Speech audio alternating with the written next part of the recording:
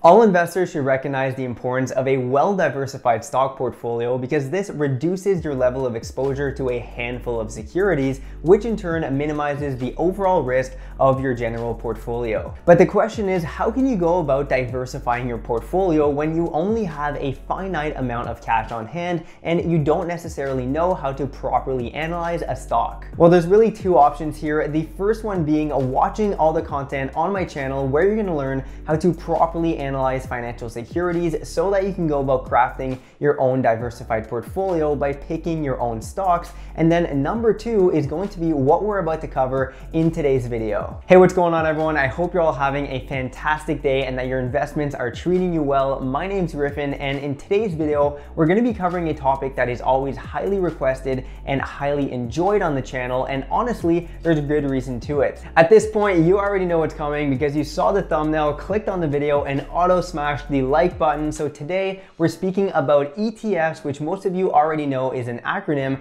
for exchange traded funds, which is essentially a basket of financial securities which seeks to track a certain market or index. Personally here, I hold a variety of different stocks and ETFs in my overall portfolio, pretty much just for some further diversification into certain markets and industries that I'm interested in. But if you're a new investor or you're just an investor who's looking for some passivity with your portfolio, then investing in a handful of really solid ETFs can be a great option to go for because purchasing one share of an ETF can potentially expose you to hundreds, if not thousands of different securities which in turn is going to highly minimize volatile fluctuations in your investments and your portfolio. In fact here, if you're able to continuously invest into ETFs that buy and hold shares of solid companies located mostly, let's say, in developed countries such as Canada, the US, and some European countries, then you can pretty much guarantee that your investment and portfolio is going to rise over time, arguably beating up to 90% of retail investors that pick and choose their own stocks. With that said, you might be thinking here, well, Griffin, we already covered ETFs in the past. I know they're awesome. Why are we doing another video about exchange traded funds here? Simple answer here, there's new things to discover each and every day. And the more you know, the more knowledge you accumulate, well, the more chances are gonna be on your side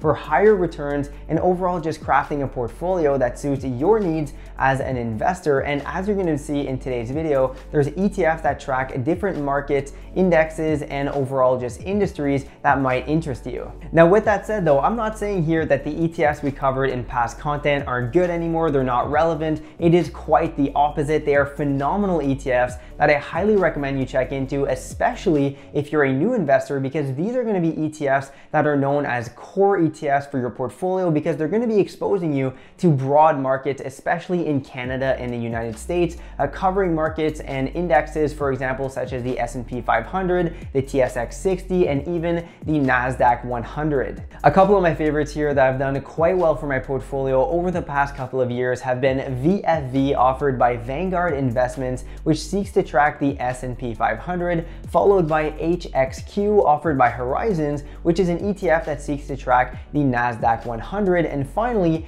XIU is an ETF offered by iShares, which seeks to track the TSX 60. If you're a new investor who wants some broad exposure to some solid markets and companies, then feel free to take a peek at that other content if you have a chance. So with that said, in today's video, we're gonna be diving into three awesome ETFs that you can add to your portfolio in 2020 for dividend income, further diversification, or even investing in international markets. The point here is to broaden the scope of what is available to us as investors so that you can go about picking different financial securities that fit with your goals. So with that said, let's jump right into the first ETF on today's list. Okay, so you're probably well aware of the fact already that I'm a huge fan of dividend paying companies. And for this reason, we speak quite extensively about specific stock picks on this channel that I think are gonna do well over the coming years based on my own personal research and that also happen to distribute healthy dividends. In the same vein here as my last video speaking about dividend aristocrats, well, is there a way that you can go about incorporating or putting a lot of these dividend aristocrats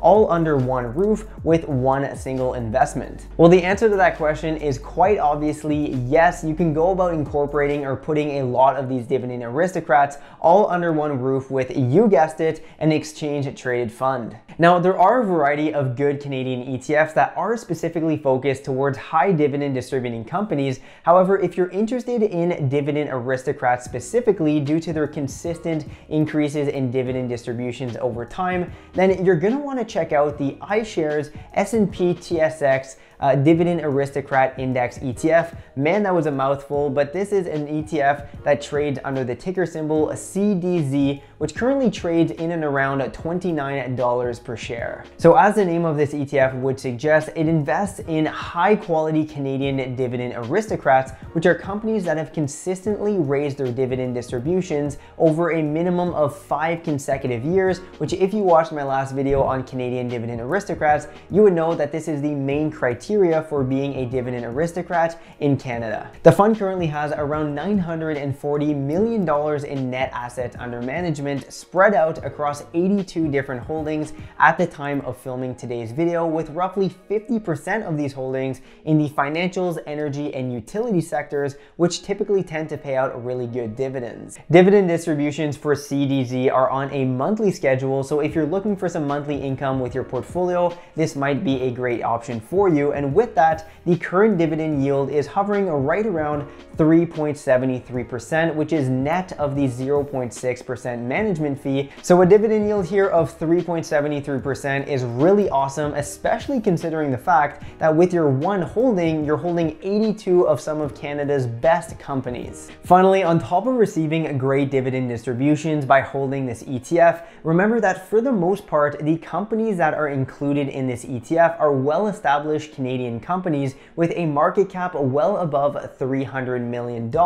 meaning that you're gonna receive interest growth over time, uh, which in turn is gonna have a net positive impact on your portfolio. Since inception of this fund, the average annual return has been 6.85% with a cumulative return over the past five years of right around 30%, which is awesome for an ETF.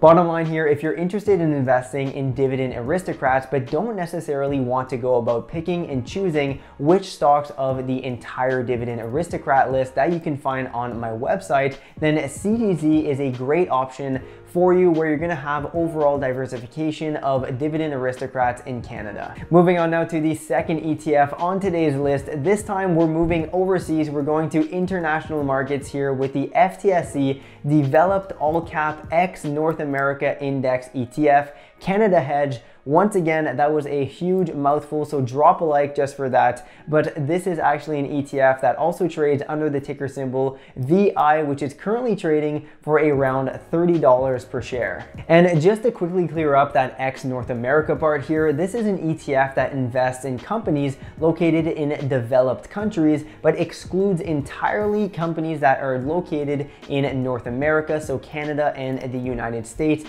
exclusively. Most of the investments and stocks stock picks that we do talk about on this channel are focused primarily on Canadian and American companies. However, with this ETF, you're gonna be exposed to a variety of different solid companies that are located in developed international markets. And in my opinion, this is extremely important, especially with the world becoming more and more of a global economy. However, if for example, the Canadian or American markets do take somewhat of a downturn, well, international markets aren't necessarily going to be affected in the same manner. So by holding a variety of different ETFs or stocks that are international, this is just gonna further diversify your holdings and therefore maybe minimize the risks uh, of having your portfolio exclusively in North American companies. Do note that unlike an S&P 500 ETF, like for example VFV, which tracks the 500 largest companies in America, well, VI is an ETF that's gonna track a variety of different companies from different market caps,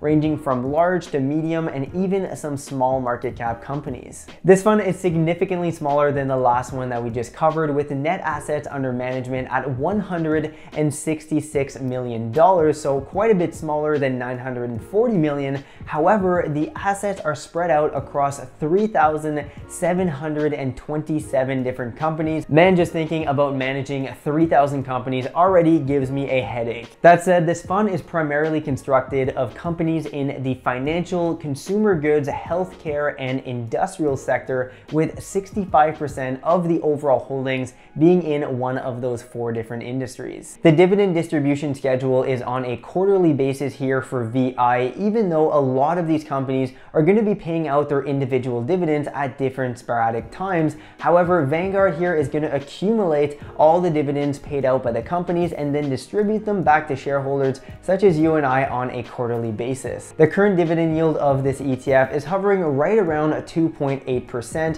which is net of the 0.20% management fee. So in my opinion, based on the fact that this isn't an ETF specifically tailored towards high dividend paying assets, well, this is still a pretty good dividend yield. In terms now of the performance of the fund, well, taking into account that this is a relatively newer fund having debuted in December of 2015, the average annualized return since then has been 6.89%, so right where we want to see it for consistent, steady returns over the coming years that are going to be sustainable, and hopefully you're looking at the long term such as I am anyways, instead of the short term. And this nice and steady 6.89% annualized return over the past five years years has led to a cumulative return of 31.69% for this fund, which is quite nice. In my opinion, having a well-diversified portfolio is key to long-term success and investing in developed international markets can be a great way to materialize some returns